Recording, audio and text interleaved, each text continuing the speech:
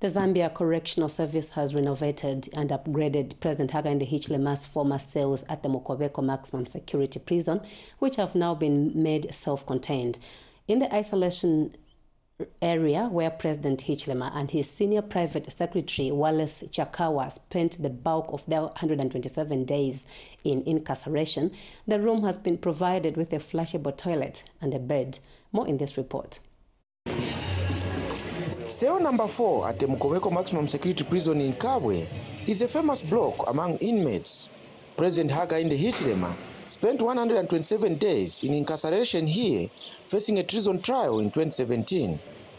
This room had no toilet or mattress when President Hichilema and his cellmate Wallace Chakawa spent their time here. However, the transformation agenda being implemented by the Zambia Correctional Service has Cell 4 get a flushable toilet and bed.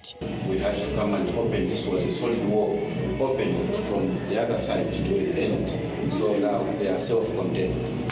So that maybe we can have distance for those others who may be brought here for whatever security reasons that uh, it may. It was very sad, disheartening. Now that we are reminded that our own president also slept in such uh, uh, difficult conditions. Dormitory 2 was also home for President Hichilema alongside over 100 other inmates. Room 5 had no beds or mattresses, but is transformed with bunk beds. Because this is where the president was first ushered into the day he arrived in Maximum. There were no beds as you see them now.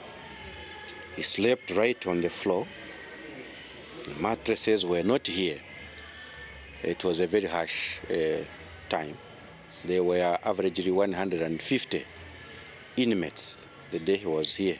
Chief Government spokesperson Chushi Kasanda has visited both cells and is impressed with the transformation. God was preparing him for a time as this, that he will become president.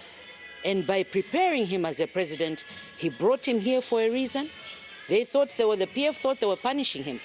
But actually, he looked at the conditions of his inmates and he made this pronouncement that the beds needed to be made or to be procured. The Zambia Correctional Service is transforming all correctional facilities across the country with a 40 million kwacha funding from government, which will see about 25,000 mattresses and 12,000 bunk beds being made by inmates. Paul Shalala, ZNBC News in Kabwe. Remember to hit the like button, place a comment, and subscribe. Thank you so much for watching.